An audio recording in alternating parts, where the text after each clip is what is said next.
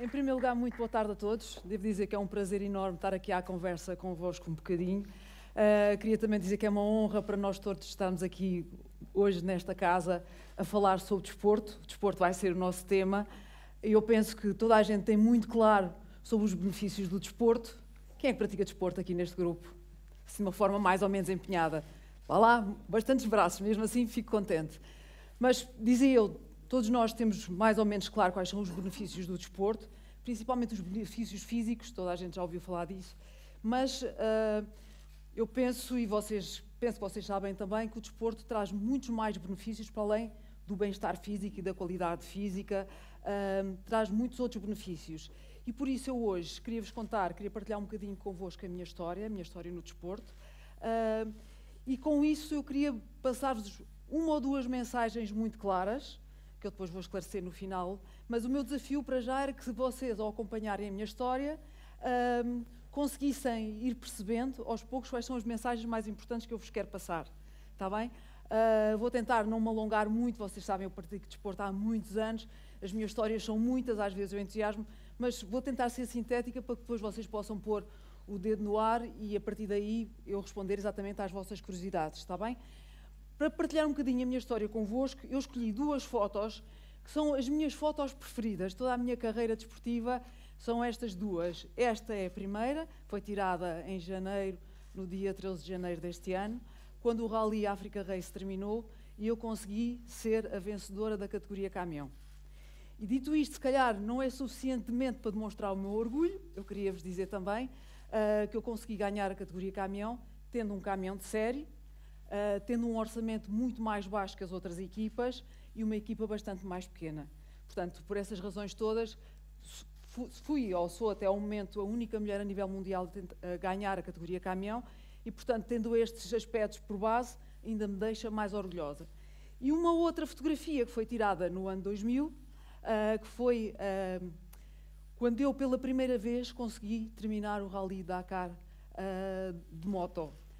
E para mim foi um momento de, de grande alegria, era a minha terceira tentativa, e eu estava ali completamente realizada e feliz. É claro que vocês, com esta. Eu começo aqui a nossa conversa a, a puxar para os galões, não é dizer que sou muito boa, fiz muito bem nas motas e fiz muito bem nos caminhões, e vocês começam aí a tentar fazer a avaliação da minha pessoa, a tentar perceber que tipo de pessoa sou eu e já têm assim uma ideia mais ou menos formada, é ou não é? O que é que vocês acham? O que é que vocês já pensam sobre mim? Sou uma pessoa persistente, ok. Se calhar alguns pensam assim, ah, anda de moto desde que é pequenina, é ou não é? Normalmente as pessoas pensam que eu ainda não andava a pé, já o meu pai me tinha dado uma moto para eu começar a andar, portanto para mim era muito fácil. Se calhar há quem pense aí que eu sou uma Maria Rapaz, que sempre andei com brincadeiras de rapazes, não é? Uh, eventualmente que tenho muito dinheiro para andar nestas coisas das corridas, porque os esportes motorizados são desportos relativamente caros, como vocês sabem, ou a minha família sempre esteve relacionada com motas ou com caminhões. Eu estou aqui para vos dizer que nada disso aconteceu no meu caso.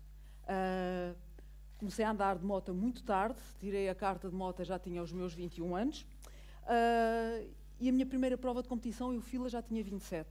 Portanto, não comecei cedo a andar de moto, comecei, pelo contrário, bastante tarde. Uh, nunca fui nenhuma Maria Rapaz, cresci a brincar com bonecas, a brincar às casinhas, a fazer rendas e bordados, a ler romances cor-de-rosa, como vocês provavelmente gostam de ler, e tive uma educação francamente tradicional, ou seja, daquela educação que caracterizou a nossa sociedade até aos tempos atuais, em que as mulheres faziam determinadas coisas, os homens faziam outras, e, portanto, as atividades estavam perfeitamente separadas. E, portanto, nada de confusões. Uh, uma mulher que fizesse coisas de homem era até mal vista, não é? Como vocês sabem.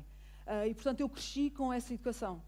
E por isso, uh, vocês agora perguntam assim, então, mas como é que dessa base começa a andar de moto e a fazer corridas e a fazer corridas de caminhão? E eu, para além disso, ainda vos, antes de vos explicar, queria-vos dizer que quando eu comecei com esta brincadeira das motas, ela aparece assim na minha vida muito por acaso, não era nada que tivesse planeado. Uh, eu queria vos dizer que eu era uma pessoa muito diferente daquela que sou hoje. Uh, quando eu tinha a vossa idade e estava assim sentado nos bancos da escola e os meus professores convidavam uh, ilustres convidados para vir conversar connosco, eu era uma rapariga absolutamente diferente daquela que sou hoje. Para já, em termos físicos, muito lingrinhas, extremamente magrinha, sem musculatura nenhuma, sem capacidade física nenhuma, nunca, nunca praticava desporto. uh, ao contrário de alguns de vocês. Uh, e em termos uh, de personalidade, era uma rapariga muito tímida, muito insegura, sempre metida no meu cantinho, sempre na esperança que ninguém desse por mim, que ninguém me visse, que ninguém reparasse que eu estava presente, porque de facto era uma pessoa muito metida comigo própria. e portanto, deste tipo de pessoa, aquela pessoa que começa a andar de motas e a fazer corridas, vai um salto muito grande, é ou não é? Uh, e foi assim que eu comecei a fazer a minha primeira corrida de moto. Uh, eu lembro-me que as motas começaram por ser apenas um passeio de fim de semana. Uh, eu andava a passear no meio do Alentejo com os meus amigos, até que um deles, um dia, decide fazer uma prova de competição. E desafiou os outros todos para ir. Ora, naquela altura, eu era daquelas pessoas que queria muito ir com os meus amigos, andar de moto ao fim de semana, mas eu vou-vos dizer, como eu vos estava a dizer, tive uma educação muito tradicional e, portanto, eu era medricas, tinha medo de tudo. E quando eu falo daquilo que eu sentia quando andava de moto naquela altura, eu tinha medo de andar depressa, tinha medo de andar devagar, tinha medo de virar para a direita, tinha medo de virar para a esquerda, tinha medo de subir, tinha medo de descer, tinha medo de tudo. De uma maneira geral é assim que nós caracterizamos as raparigas. As raparigas têm medo de tudo, sentem-se inseguras com tudo e mais alguma coisa. E eu tinha realmente esse, esse sentimento de insegurança, de incapacidade, não me achava forte para fazer coisa nenhuma, não me achava capaz de fazer coisa nenhuma. Mas os meus amigos iam andar de moto, havia uma pessoa muito especial para mim que também ia andar de moto, que é o meu marido, e eu queria ir também e não queria ficar em casa. A última coisa que eu queria era que ele dissesse assim: Ah, eu hoje vou andar de moto com os meus amigos, eles são muito mais rápidos que tu, hoje ficas em casa. E eu tinha um medo terrível que ele me dissesse isso e, portanto, esforçava-me por andar sempre com ele e acompanhar o ritmo dos rapazes. E, portanto, eu comecei a perceber que o meu confronto com esses medos, comecei a perceber que esses medos estavam só na minha cabeça. Ou seja, eu tinha medo de descer, é, é um facto. E sentia muito medo, mas depois de fazer a descida, olhava para trás e, afinal, o medo era da minha cabeça. Portanto, não houve problema nenhum de fazer aquela descida íngreme, ou fazer uma subida complicada, ou fazer fosse o que fosse. E a partir daquele momento eu comecei a perceber que eu podia lutar contra os meus medos e as minhas inseguranças. E isso foi um grande desafio para mim. Mas quando os meus amigos todos decidiram fazer uma prova de competição, uh, eu, claro, naturalmente, o que é que vocês acham que eu fiz? Claro, pus-me à parte, não é? Eles vão fazer uma prova de competição. Uh, mas eles olharam para mim e disseram: Não, não, tu tens que vir connosco, tu também és capaz, tu andas connosco ao fim de semana, tens que vir. E há outras raparigas. Eu dizia: Não, eu não sou capaz, não tenho físico, eu canso muito rapidamente, uh, ando 50 km já fico completamente cansada, como é que eu vou fazer 300 km? Uh, e pensava comigo: Bom, vou de Lisboa ao Algarve, são 300 km por estrada, chego lá toda cansada, como é que eu vou fazer 300 km aos saltos em cima de uma moto, numa prova de competição? Não sou capaz. E eles insistiam: Não, e tens que vir, e tu és capaz, tu és capaz, e tu andas connosco, e tu também sabes andar, tens que vir. E aquela maneira deles estar em relação à minha pessoa deu-me um voto de confiança muito grande. Eu pensei assim: os meus amigos acreditam que eu sou capaz. Será que eu sou capaz? E lá fui eu fazer a minha primeira prova de competição. Uh, Vou-vos dizer: a adrenalina subiu ao máximo, mas passado 100 km eu já não me conseguia mexer em cima da moto. Eu tinha dores nos músculos todos, eu cerrava os dentes e só pensava: eu tenho que conseguir. De forma nenhuma eu queria desanimar, desiludir os meus amigos, eu tinha que conseguir. E, e lá me esforçava imenso para continuar. E uh, esta corrida, que era o Grândola 300, é, portanto, na Serra de Grândola, com 300 km, tinha várias ribeiras, eu caí numa delas e não consegui logo levantar a moto do chão. Uh, o motor ficou cheio de água, não trabalhou mais e, portanto, eu tive que desistir daquela prova. Mas se vocês fossem naquele dia perguntar quem era a pessoa mais feliz uh, do Grândola 300, não era o rapaz que tinha ganho, era eu que tinha desistido. Porque eu tinha feito quase os 300 quilómetros eu desisti por volta do quilómetro 270. Portanto, eu tinha feito praticamente tudo. E nesse dia eu percebi realmente que nós somos muito mais capazes do que aquilo que nós pensamos que somos capazes. Nós limitamos a nós próprios, nós dizemos à partida eu não sou capaz. Vocês não imaginam a quantidade de pessoas que vieram ter comigo e me diziam assim, ah, eu não sou capaz de fazer o que tu fazes. Eu dava vontade de responder, não és capaz porque não queres. Eu também achava que não era e depois acabei por ser. Uh, a partir desse dia, Vou-vos dizer, eu fiquei com a sensação de paixão em relação ao todo-terreno. Eu fiquei verdadeiramente apaixonada pelo todo-terreno. Vocês não sei se sabem, se já experimentaram essa sensação de paixão, mas a gente não para de pensar. Eu pensava os dias todos o que é que eu faço para arranjar físico, o que é que eu faço para arranjar técnica, o que é que eu faço para arranjar dinheiro, o que é que eu faço para treinar, para ter tempo para me organizar. Aquela ideia ficou na minha cabeça de tal forma que eu fiz todas as corridas que vieram a partir dali. Nunca mais parei. Fiz as provas todas do Campeonato Nacional, sempre a tentar melhorar, sempre a lutar contra os meus medos e as minhas dificuldades e as minhas incapacidades. Fui melhorando, melhorando, melhorando, até que chegou um dia que eu dei comigo nas minhas tarefas domésticas, a refletir e a pensar que, eventualmente, estava na altura de abandonar a competição. Enfim, já tinha feito o Campeonato Nacional durante vários anos, ganhava quase sempre a taça das senhoras, uh, enfim, já tinha alguma idade, queria ter filhos, como todas as mulheres querem, e comecei a ponderar seriamente abandonar a competição. E lembro naquele momento de pensar assim: epá, vou deixar de fazer corridas de moto e não experimento fazer uma corrida, uma corrida em África. Eu que ensino aos alunos na escola como é que se formam as dunas, nunca vi nenhuma. E naquele momento eu imaginei-me montada em cima de uma moto enorme, toda equipada pelo deserto fora, e aquela imagem disse-me tanto, foi tão forte para mim, que nunca mais me saiu da cabeça. E pouco tempo depois dei comigo em frente à televisão, a ver as imagens de, do Rally Paris-Dakar, e dei comigo a pensar: não, eu sou capaz de fazer uma prova grande como aquela, sou capaz de andar numa moto pesada, eu quero fazer o Dakar. E naquele momento foi como se eu tivesse crescido uns centímetros em altura. Eu senti-me realmente uma força enorme e achei que nada me derrubava. A partir dali, aquela ideia entrou na minha cabeça como uma obsessão. Eu sou capaz de fazer o Dakar. Tenho muito espírito de sacrifício, tenho uma grande capacidade de trabalho, tenho uma grande capacidade de dedicação, de empenho. Eu vou fazer o Dakar. Então, falei com o meu marido e fiz-lhe a proposta. E o que é que vocês acham que ele me disse logo? Estás louca. Onde é que tu pensas que vai fazer o Dakar? Nem penses nisso. Tu achas que mesmo que és capaz de fazer uma prova grande e difícil como aquela? Não, tu não vês que aquilo é uma prova só para homens e de barba rija. São poucos aqueles que terminam, dizia ele. E eu fiquei muito em estado de choque, porque ele sempre me tinha colaborado, sempre tinha ajudado a fazer corridas, e disse, mas tu sempre me ajudaste, agora que eu te faço uma proposta de fazer uma prova, tu dizes-me que não. E ele dizia, mas tu não vês que essa prova é grande mais, é um passo maior para a nossa perna, não é assim que se costuma dizer. E onde é que vais arranjar o dinheiro? Eu dizia, bom, eu vou à procura de patrocínios. Ok, então ele, como é uma pessoa inteligente, diz-me assim, está bem, se arranjares dinheiro a gente vai.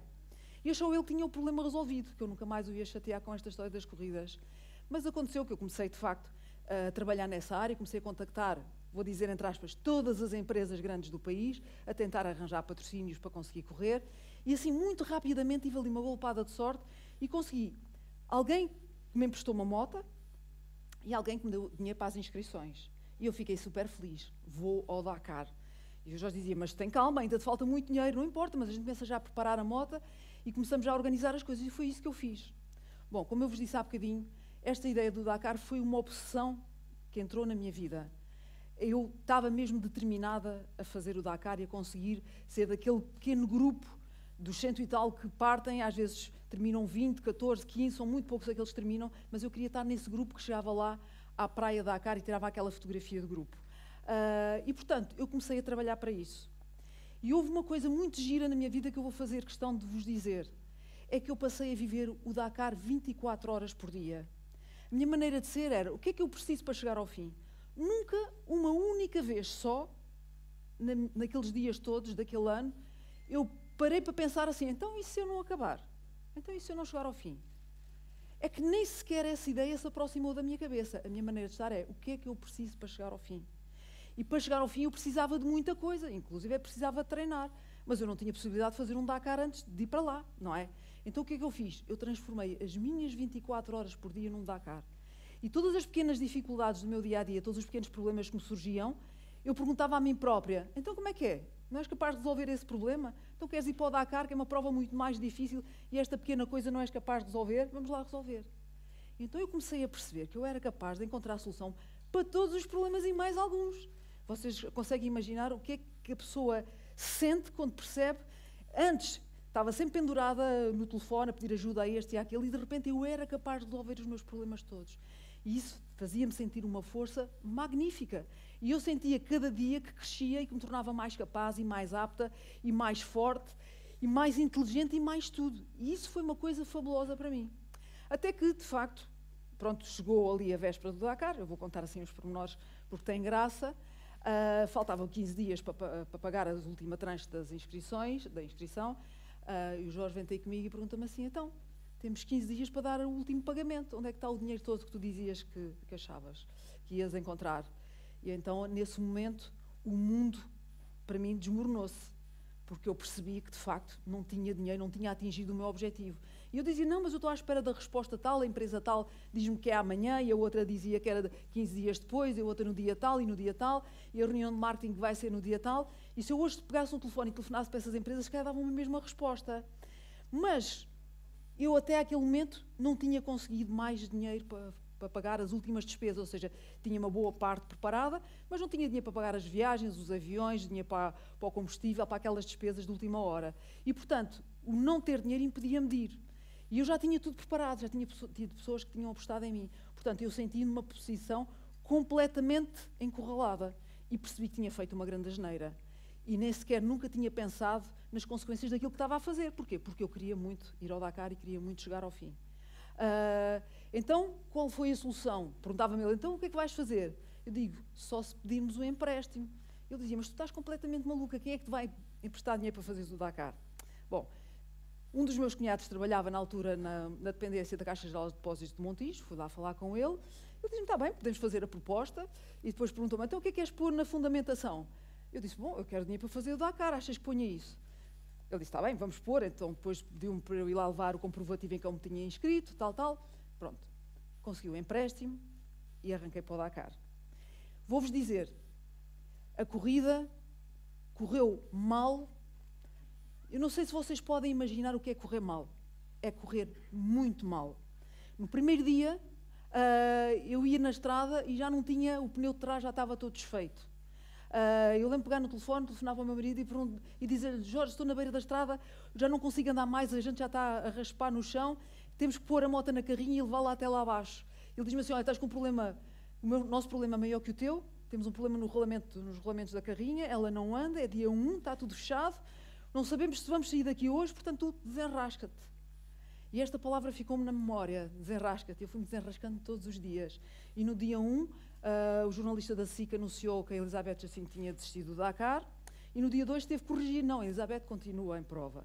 E no terceiro dia ele voltou a dar a notícia, a Elizabeth desistiu da, do rally com o problema assim assim e no quarto dia ele teve que voltar a corrigir porque eu ainda continuava em prova. E no dia 5 ele voltou a dar a mesma notícia e no dia 6 ele voltou a corrigir. E no sétimo dia eu não vos estou a contar as histórias porque elas são muitas, são giras, mas depois a gente tinha que ficar aqui muito tempo. No sétimo dia, de facto, eu tive um problema enorme que me obrigou a desistir da corrida. Foi um problema uh, em que Vou contar um bocadinho, pronto. Não consigo deixar de contar. Eu ia para o deserto fora e a certa altura começo a sentir o volante a abanar com muita força. E parei e percebi que de facto os parafusos se tinham alargado um bocado. Então saquei das ferramentas e apertei os parafusos. E continuei. E entrei pelas dunas fora da Mauritânia e comecei a subir e a descer aquelas dunas e de repente lá vai um grande trambolhão. E quando vou tentar pôr a moto em pé, não conseguia pôr a moto em pé, que ela era muito pesada. E tento aprumar muito, ali com a posição correta, fazer muita força, e quando faço muita força, estava sozinha, tinha mesmo que levantar a moto do chão, fico com o volante na mão, a moto fica lá embaixo.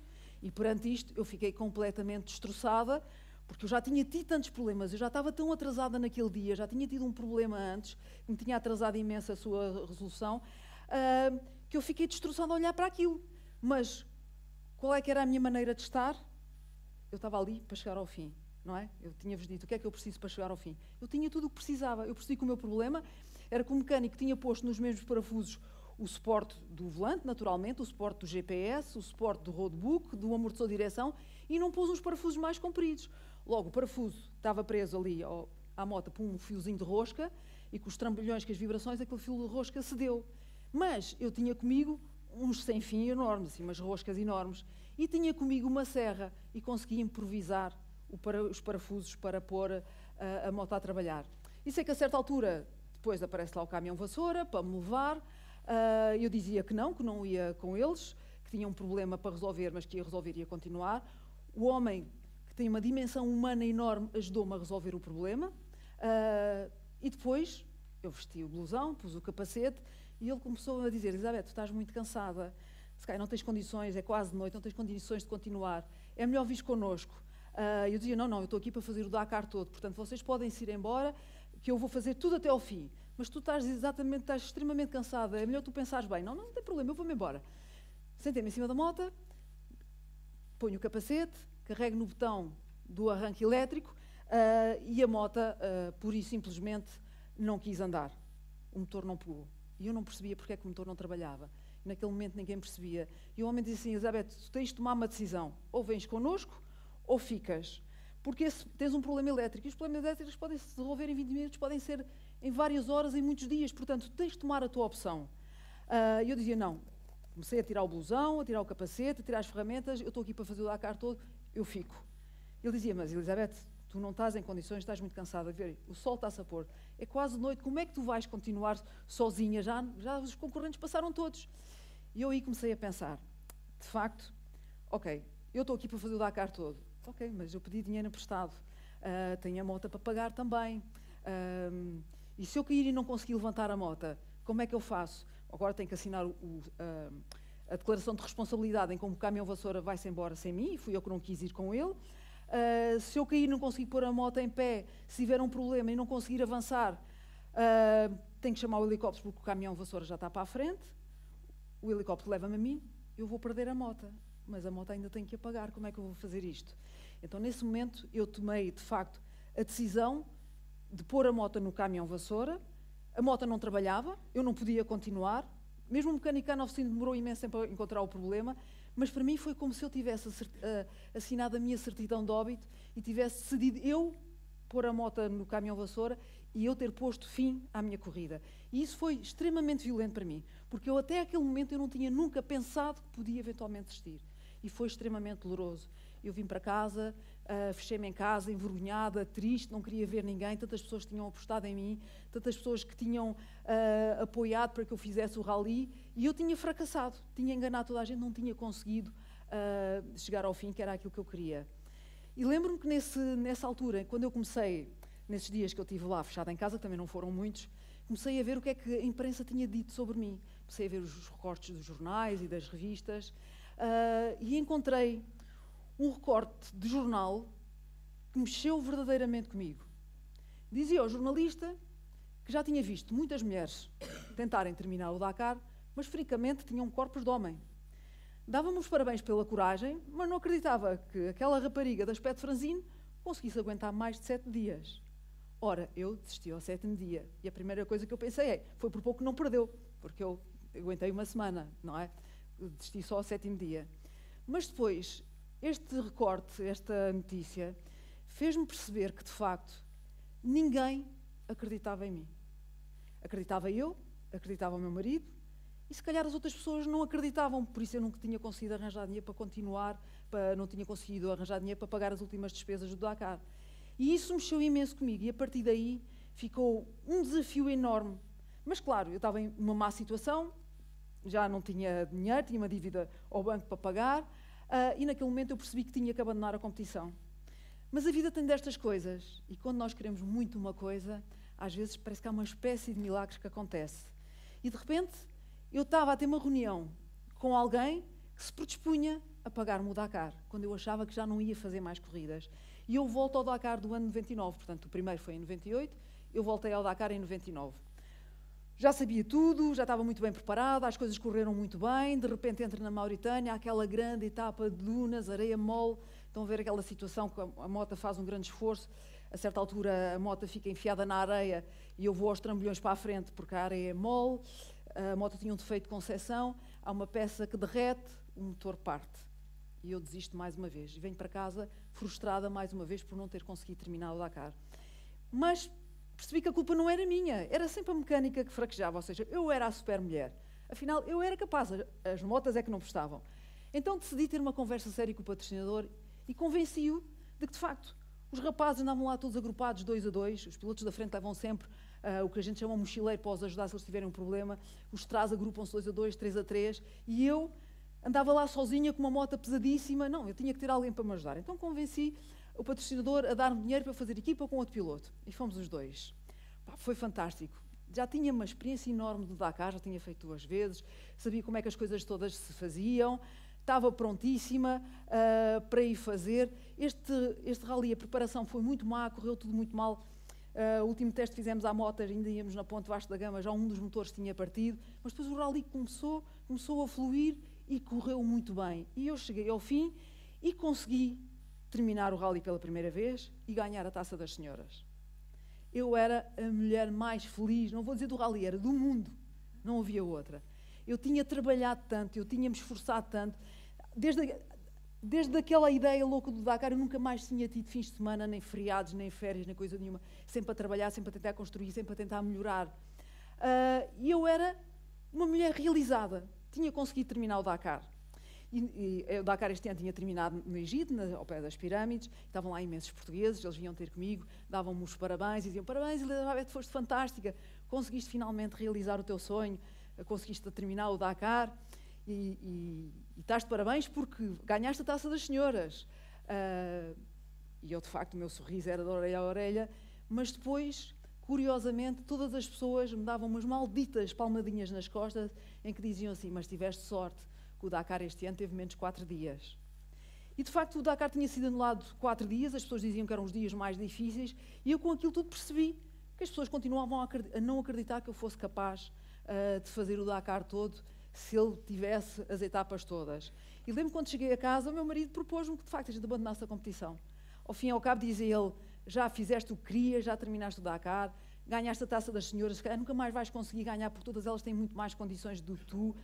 Vamos fazer outras coisas, há tantas coisas giras na vida, a gente não ganha nada com isto. Vamos à procura do outro hobby giro. Uh, e eu, nessa altura, vocês já calculam qual foi a minha reação ou não? Usei todos os truques que as mulheres usam para convencerem as outras pessoas quando querem qualquer coisa, não é? Desde choramingar, fazer birrinhas, pôr todos os argumentos, aquelas coisas. Eu disse: não, eu quero provar a toda a gente que sou capaz de fazer um Dakar duro e difícil, quero voltar outra vez.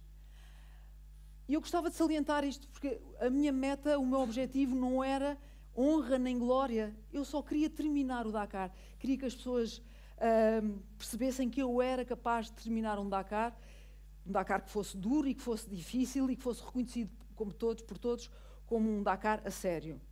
E naturalmente eu engoli as minhas próprias palavras, não é como se costuma dizer. Uh, voltei ao Dakar no ano seguinte com um outro piloto, já não foi o Mário Brás, foi o Pedro Machado, mecânico de profissão, que foi muito bom face àquilo que eu tive que enfrentar a seguir. Mas este Dakar que eu fiz no ano 2001 não só foi um Dakar extremamente difícil uh, em termos de percurso, com muitas pedras, muitas dunas, muitas ervas, etapas muito longas, muito lentas. Foi de facto um Dakar extremamente difícil.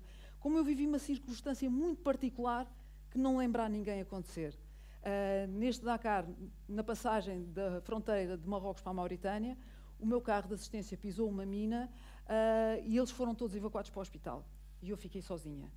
E vocês devem imaginar que eu fiquei sozinha num estado lastimável, porque, bom, eu estava ali para fazer uma prova desportiva, por um ideal que era meu, e nunca, não aceitava, de forma nenhuma, que o meu ideal de desporto pudesse mexer com a vida das outras pessoas. E naquele momento eu tinha pessoas no hospital, gravemente feridas, à conta da minha brincadeira, do meu desafio de eu querer fazer provas. Uh, e isto mexeu muito comigo e eu senti-me completamente arrasada. É claro, embora me envergonhe, eu tenho que vos dizer que o meu primeiro pensamento foi aquele pensamento egoísta de dizer assim: pronto, vou desistir outra vez, nunca mais vou conseguir terminar o Dakar. Mas logo a seguir, eu fui mais racional e fiquei com aquela sensação de não saber sequer o que é que havia de pensar, o que é que havia de sentir, o que é que, o que, é que devia fazer? Senti-me completamente perdida. E nesse momento telefonei para Lisboa e falei com alguém e fiz exatamente a pergunta: o que é que eu faço? Eu não tinha nada, não tinha, tinha a moto e levava um saco de cama preso na moto, porque naquele dia era a etapa maratona, mas não tinha ferramentas, não tinha peças, não tinha tenda, não tinha saco de cama, não tinha nada, absolutamente nada. E claro, o que é que era lógico? Era vir para casa. Mas eu naquele telefonema perguntei à, à, pessoa que falou comigo o que é que eu faço. E a pessoa acho que teve um momento de inspiração e respondeu-me assim: Olha, Elizabeth, eu não sei, mas só sei que a última coisa que o Zé Ribeiro quer é que a Elizabeth desista por causa dele. E estas palavras fizeram muito sentido na minha cabeça. E eu tomei uma decisão muito firme. Ok, vou desistir, é certo. Era evidente que eu ia desistir porque não tinha condições de fazer o rally até ao fim, porque eu não tinha absolutamente nada para me manter em prova. Mas vou desistir no momento em que ir para o chão e não me conseguir levantar mais porque o Zé Ribeiro merece toda a minha consideração. E por ele eu vou até aos meus limites. Vou-vos contar. Caí 300 mil vezes. 300 mil vezes me levantei. Parti-me toda. Toda. Vou-vos contar. esta perna para levantar na. Quando eu levantava a perna para montar a moto, tinha feito uma lesão na virilha, estava muito devagarinho, muito devagarinho, ficava toda a gente a olhar para mim à espera que eu caísse antes de montar. Uh, numa, das, numa das noites caí, fiz uma fratura, fraturei três ossos no metatarso uh, e, portanto, passei a levantar mais cedo, uma hora, para conseguir calçar a bota todas as manhãs. Fraturei duas costelas, mesmo ao limite do osso deslocar. E este braço, eu pegava nele para ele ir lá ao volante, porque ele sozinho já não ia. Mas que raio, consegui chegar ao fim. Uh, o jornalista que estava a fazer a cobertura da prova, quando se deu o acidente, deu a notícia e disse: Elizabeth vai desistir quando chegar ao dia de descanso. Elizabeth não desistiu e nunca mais ninguém se lembrou que Elizabeth estava em prova. Foi uma prova extremamente difícil para mim, como vocês devem calcular. Eu dormia muito pouquinho, porque quando chegava ao acampamento não tinha nada, tinha que pedir ferramentas emprestadas, peças emprestadas, não tinha nada para conseguir sobreviver naquele ambiente. Uh, durante o dia o cansaço era imenso. Eu costumo dizer a brincar que se o vento soprasse mais forte, me empurrava em determinadas direções, eu ia, porque de facto estava completamente arrasada de cansaço, mas continuei, continuei, continuei e cheguei ao fim.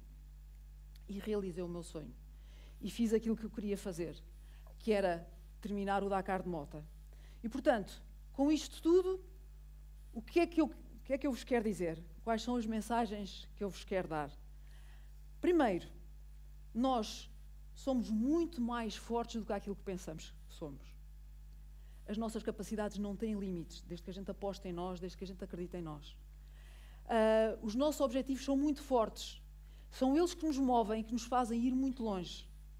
E isso é extremamente importante. Todos os sonhos se realizam, sejam eles quais forem, mesmo os mais difíceis, uh, desde que a gente queira. E por isso eu escolhi esta, esta foto uh, para vos dizer que, de facto, não há grandes projetos da nossa vida que a gente tenha que enfrentar, que não tenham grandes adversidades, que não tenham grandes constrangimentos, que não tenham grandes obstáculos. Mas os obstáculos e as dificuldades servem para quê? Para pôr à prova as nossas capacidades, para a gente conseguir ultrapassá-los, para se fazer melhor cada vez, para sermos cada vez mais aptos. E tudo se consegue fazer. Todos os sonhos se realizam, como eu vos disse. E por isso, antes de eu me ir embora, uh, eu não, vos, não posso ir embora sem vos transmitir aquilo que eu aprendi ao longo destes anos que é aquilo que eu chamo a fórmula de sucesso.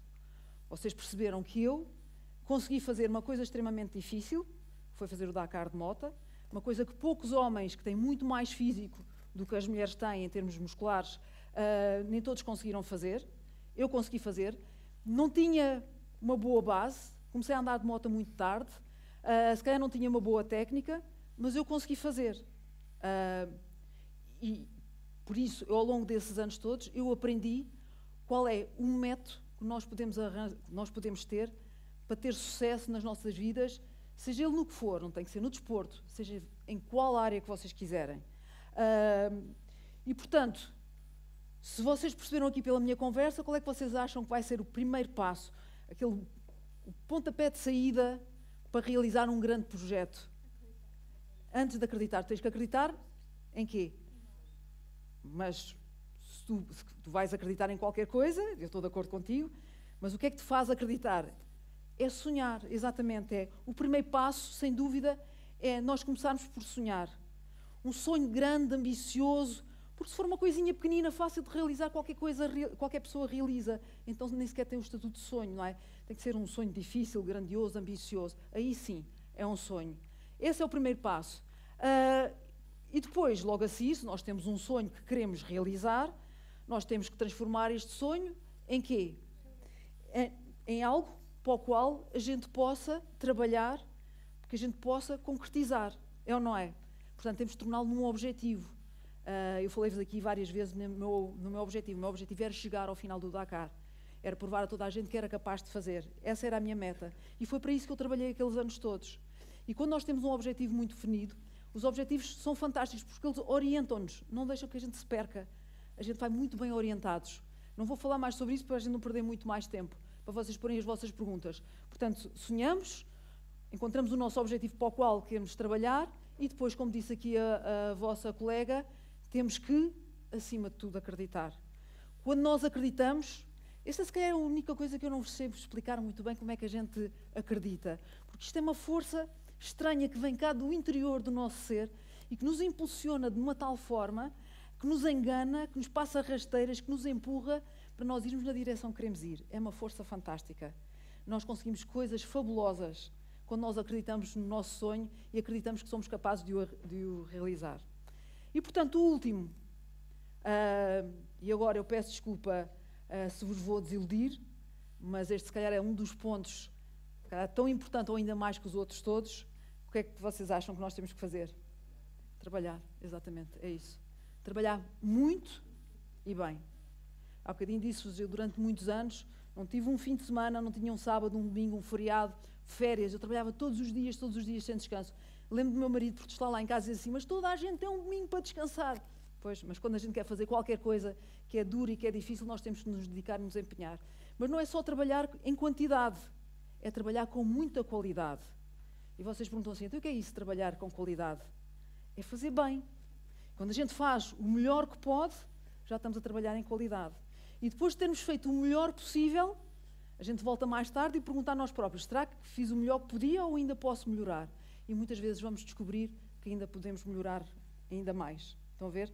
Portanto, uh, com a minha história, só gostava de vos dar uh, esta fórmula, entre aspas, para vocês utilizarem na vossa vida, no vosso dia a dia, uh, dizendo que todos os projetos se realizam, sejam eles quais forem, desde que a pessoa queira, desde que a gente acredite no nosso sonho, desde que a gente se empenhe e que trabalhe para ele. Mesmo as coisas que parecem impossíveis, não há impossíveis. O impossível está sempre na boca dos outros, não na nossa. Eu queria, em primeiro lugar, agradecer à Elizabeth o voltar a esta casa, que é dela. Muito obrigado. E, e agradecer a lição que nos deu de vida.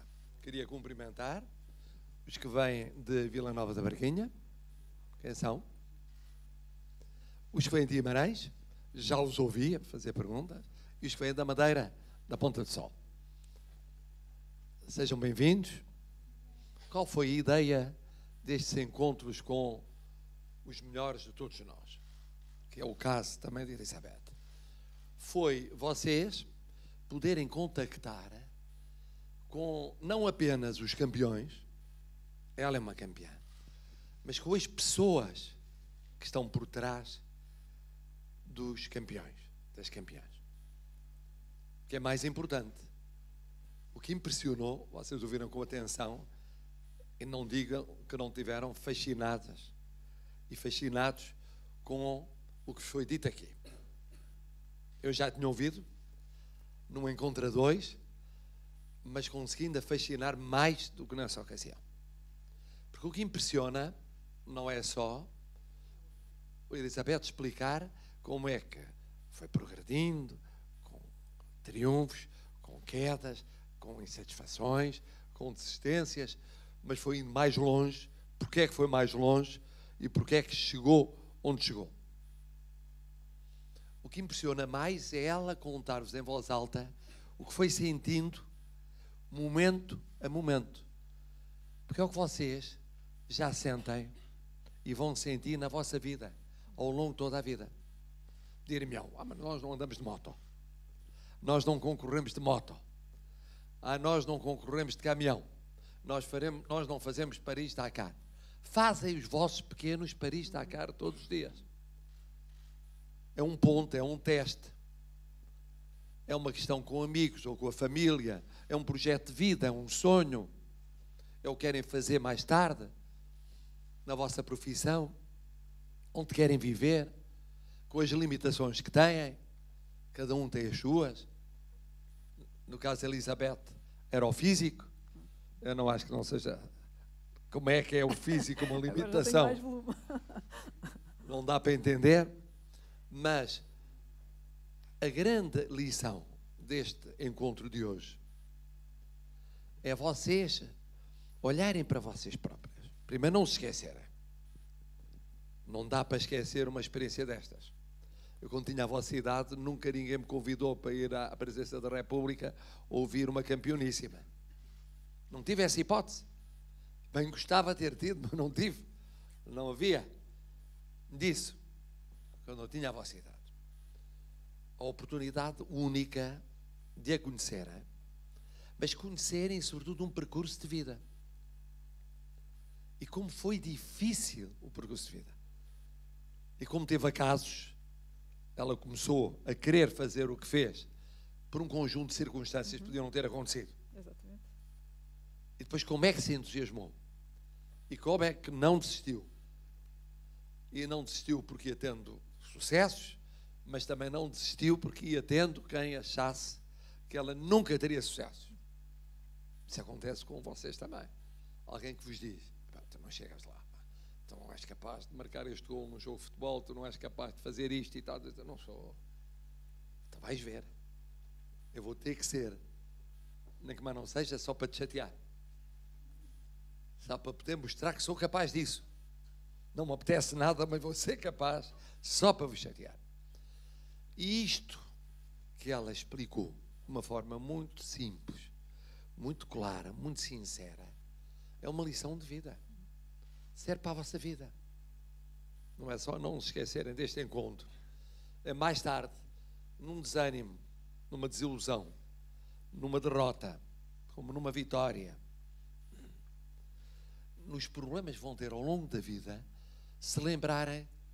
Eu lembro-me quando era muito novo, daquela muito importante, aquela maluca que decidiu fazer o Paris Dakar, doida, completamente doida.